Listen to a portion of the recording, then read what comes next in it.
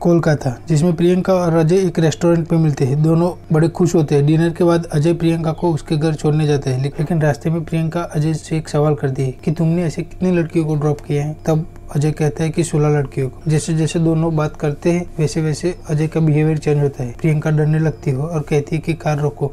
Ajay car रोक देता है, लेकिन प्रियंका को बहुत बुरी तरह मारकर अधमरी हालत में रास्ते पर छोड़ देता है। लेकिन थोड़ी देर बाद फिर वापस आता है और उसके ऊपर चार बार कार चलाकर उसे पूरी मार देता है। सुबह होते ही सबके मोबाइल में एक वीडियो आता है, जिसमें प्रियंका बता रही होती है कि फिर रात के अंधेरे में एंट्री होती है। राधिका आप्टे यानी कि दुर्गा की। वो डरती डरती किसी चीज़ के पीछे होने की वजह से भागने लगती है। और वो एकदम से लोगों को मारने लगती है। लेकिन वो एक सपना होता दुर्गा एक एक हाउस वाइफ होती है। फिर अजय एक स्पेशल फोर्स के एजेंट को मिलता है। अजय की लाइफ एकदम सिंपल होने की वजह से उसे कोई पकड़ नहीं। पहले कोलकाता में सब मिलाकर उन्नीस एजेंट को फ़ील्ड में भेजा गया है और सारे मर चुके हैं। और वो लोग उन एजेंट को ढूँढने लगते हैं। और स्पेशल फोर्स वालों, और स्पेशल फोर्स वालों ने जो एजेंट को फ़ोन दिए थे, उसे वो ट्रेस करते हैं और उन्हें देवदास यानी की दुर्गा का पति का घर का लोकेशन मिलता है और वो उस पर नज़र रखने लगते हैं। तभी हेडक्वार्टर से दुर्गा की फ़ाइल मिलती है और वो दुर्गा को ट्रैक करने लगते हैं। स्पेशल फोर्स का बॉस कैसे बात करता है पर वो नहीं मानता। वहाँ अजय की माँ बीमार होती है। तभी एक डॉक्टर है। वो डॉक्टर कुछ बच्चों को पढ़ने और जॉब दिलवाने के लिए गाँव जाने वाली होती है। सुनकर वो अजय को बहुत गुस्सा आता है और, और अजय डॉक्टर को मार देता है। आयशा दुर्गा के सामने घर घर में रहने आती है। वहाँ स्पेशल स्पोर्ट्स को एक क्लू मिलता है। वह वो बॉस को बार बार दुर्गा का पीछा करता है। दुर्गा उसे साफ़ मना कर देती है की मेरी फैमिली और मैं उसके साथ खुश हूँ। फिर दुर्गा रात को देर बजे तक टीवी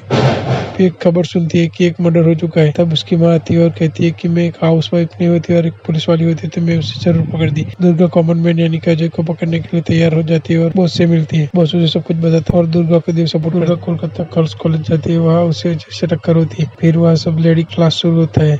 और तभी अजय उन सबको सिखाता है। दुर्गा एक एक करके कॉमन मैन को ढूँढने की कोशिश करती है। दुर्गा एक दिन कॉमन मैन के बदले एक पुलिस वाले को उठा लाती है, फिर घर जाती है और सुबह दुर्गा को अपनी पत्नी का, फिर किसी लड़की के साथ चल रहा है, वो पता चलता है। वो अंदर से बहुत टूट जाती है। स्पेशल फोर्स के बॉस दुर्गा के घर चले आते हैं और उसे समझाते वो मान जाती फिर वो कॉलेज छात्र में सीखने के लिए जाती है। रात को दुर्गा देव का पीछा करते करते होटल तक पहुँचती है।